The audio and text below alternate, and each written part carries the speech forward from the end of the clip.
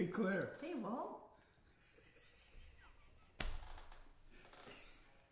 What do you want to say? I want to dedicate this tune to Holcomb Greer and Hannah. Okay. Cool. Ready? Yep.